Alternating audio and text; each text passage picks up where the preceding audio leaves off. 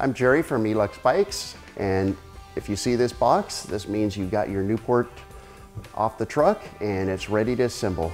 Here are the tools you're gonna need. Scissors to cut the straps, box cutter to open the end of the box, a 15 millimeter wrench to tighten the pedals, and a four and five and six millimeter wrench for the nuts and bolts on the bike.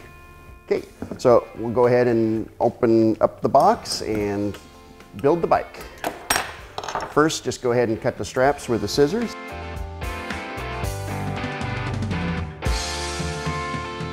And then go ahead and look in the box. And you get to see your beautiful Newport bike in the box. So now we're gonna cut open into the box and we're gonna roll the bike out. So what you do is you cut the side and the bottom and then it just folds out.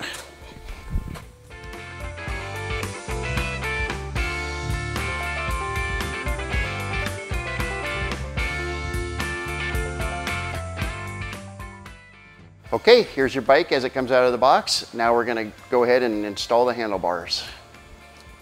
First you cut the tie wraps.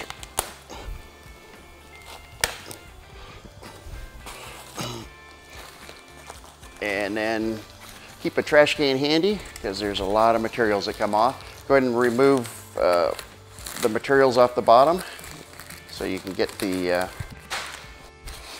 get to this and then pull this off the top and then go ahead and just push this in to hold it in place while you uh, do the rest of the work on the bike.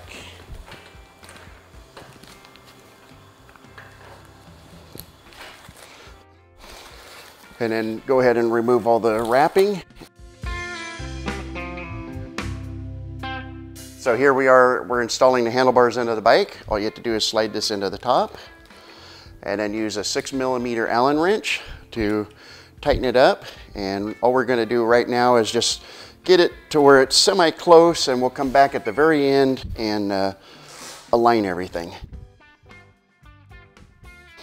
Okay, and then once we have that, then all we gotta do is straighten out the handlebars. What we do is we tilt them up, make them level, make sure they're centered, and then just go ahead and tighten this up and make sure tighten the top one, then tighten the bottom one, and then go back to the top and tighten it one more time and make sure it's very tight because that's important for safety reasons. Okay, now we're gonna be removing the wrapping and finish off the rest of the bike.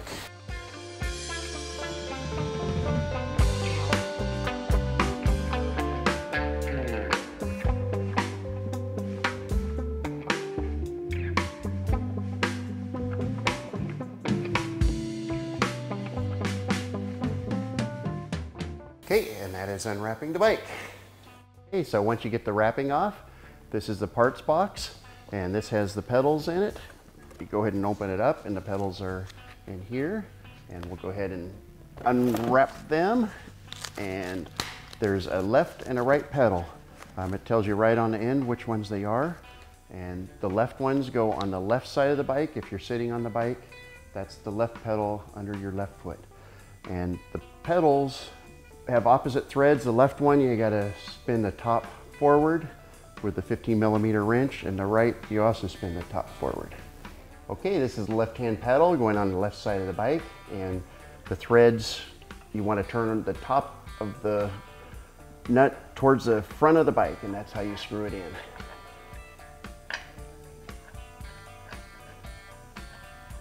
And I'll put the wrench on it to show you the direction you wanna tighten it. So this left-hand pedal, you tighten it this direction.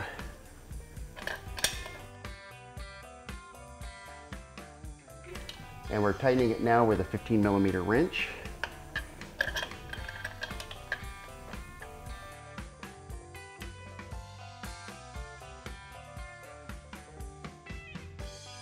Okay, and then at the very end, you want to tighten it very tight because if they're tight, they'll never come off for the life of the bike.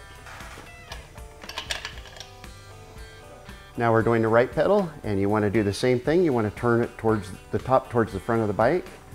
And I'll show you with the 15 millimeter wrench, the direction of tightening. You go ahead and go around this direction. And it's easier to get it in the first bit by hand and then just use it for the last, the wrench for the last little bit.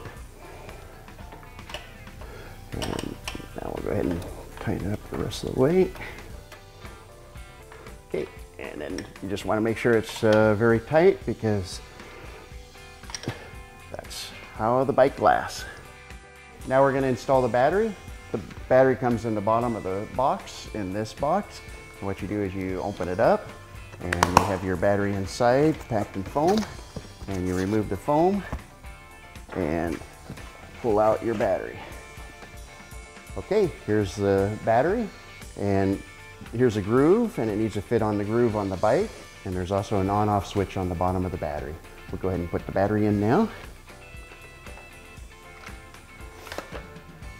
And there's an on-off switch on the bottom of the battery and if your bike doesn't turn on you need to flip the switch. This is your accessory box. Comes with various parts you need to finish off the bike. It has the cap for the stem, it has, this is a nut cover for the left rear of the bike. This is your straps for the cargo area.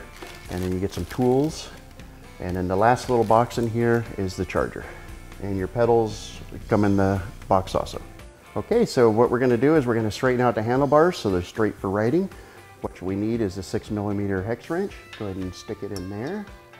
And then go ahead and loosen a little bit. Go ahead and straighten out the bars and then go ahead and tighten it up and it needs to be very tight. And then last, we need to put the cap in and it goes in like this. It's a good time to double check that you tighten the handlebars all the way. They were still just a little bit loose and just make sure these are extremely tight because uh, if you put pressure on the bars, you don't want them moving. And the cables clip right into here. This is a neck cover. It goes on the left side of the bike and you just put it on right here. This is a cargo strap. You strap it on the back of the bike. It goes into the square hole in the bike and as you can see it's a square slot and you slide it in there and then pop it up to lock it in place. Okay, so now you're ready to ride. So what you do is you turn on the computer and it go ahead, it starts up. And once you see it get to this screen, then it's ready to go. And usually what I do is for the first ride, I turn off the pedal assist sensor, turn it to zero, and that way when you pedal, the bike doesn't go on you when you're not used to the bike. Um, this is how fast you're going, speedometer, and this bar right here is how much battery power you have, and the bottom is your odometer, That'll show you the distance that you've gone. Here's how you turn on the front light. You go ahead and tap this button, turns on the back light, and also the front light comes on. Okay, this is how you turn on and off the rear light. Push that button right there and it turns it on. And of course, if you push it again, it turns it off. Okay, so last thing we need to do is adjust the seat. Usually I adjust it up to about the point of my hip and then just use a quick release here and then tighten it down. And then all you have to do now is get on the bike and hit the thumb throttle and off you go.